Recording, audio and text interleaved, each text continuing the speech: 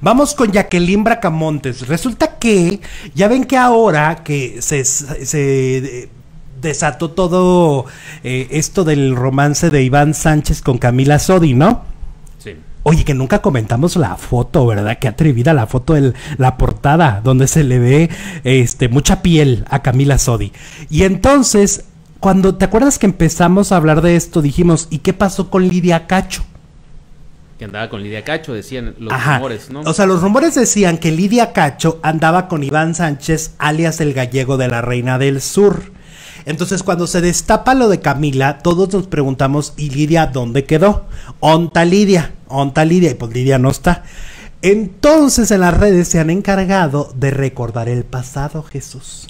Porque resulta que ah, eh, cuenta la leyenda que hace años cuando Jacqueline Bracamontes y Valentino Lanús eran pareja, hubo una tercera en discordia. ¿Y quién crees que fue? Camila, Camila Sodi.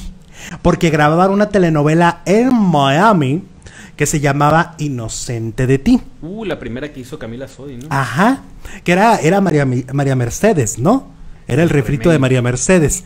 Pues, según dicen, en aquel momento, cuando ya. Esto viene en el libro de Jacqueline Bracamontes.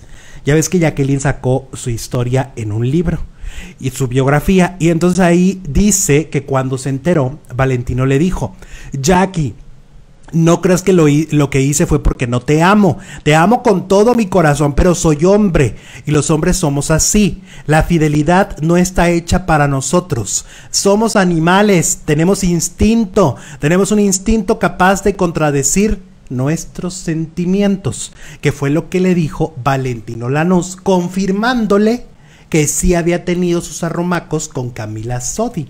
Y entonces las redes, como no perdona nada, empezaron a decir, es la segunda vez que Camila anda con alguien que está comprometido. Pues se le quedó el personaje de Rubí, ¿no? Que También, también se mete ahí. Pues entre- igual y sí.